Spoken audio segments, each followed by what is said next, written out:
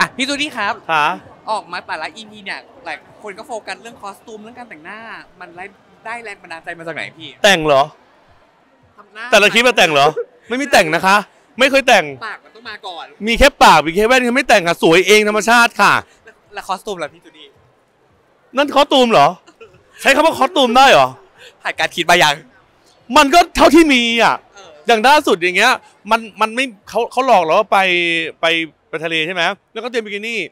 แล้วเสื้อที่คอมันขาดก็ชุดนอนไง เราไม่ได้เตรียมเอาไม่ได้เตรียมก็เขาไม่ได้บอกเขาบอกทะเลก็คือทะเลไง ทะเลก็บิกินี่ไง ไปทะเลต้องบิกินี่เท่านั้นแล้วที่เหลือก็เป็นชุดนอนไงหยิบแล้วก็ใส่อะไรอย่างเงี้ย เอาสีมันใกล้ๆกันหน่อยเลยแค่นั้นเองอย่าใช้คำว่า costume อย่าใช้คำว่าแต่งหน้า makeup อายมากไม่แล้วเวลาไปแต่ละทริปไปแต่ละสถานที่เงี้ยเขาบีบเราก่อนไหมว่าไม่ควรจะแต่งตัวยังไงอืมไม่มีทางแล้วเอาแล้วพี่จูดี้แต่งเตรียมตัวยังไง สุ่มหวานเราหวานเฟลอยู่แล้วเตรียมหวาน เออเตรียมไปเยอะๆ เตรียมไปหวานๆ เออ อะแล้วเคล็ดลับการเลือกลิปของพี่จูดี้ล่ะ มันต้องสีแดงประมาณไหนลิปเหรออ่าลิปเพราะอันนั้นเราต้องปัดแดงนำไง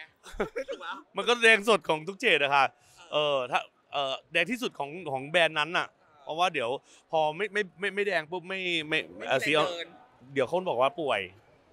เคยไหมเคยสักมี EP ไหมที่แบบว่าไม่ทาปากแดงเลย มีไหมอะ ไม่มีนะไม่มี ถ้ามีให้ส่งมาได้ เออ ไม่มีก็ลองดูสิไม่แล้วตอนนี้ ตื่นๆอะไรเงี้ยแล้วตอนนี้พี่จูดี้มีลิปทั้งหมดกี่แท่งแล้ว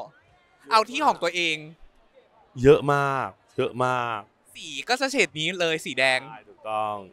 ฝากให้พี่จูดี้ฝากถึงแฟนๆที่เขาแบบติดตามเราหน่อย ก็ก็ขอบคุณมาก ดีใจยินดีเป็นเกียรติอย่างมากนะคะ ก็สัญญาว่าจะสร้างความสนุกสร้างรอยยิ้ม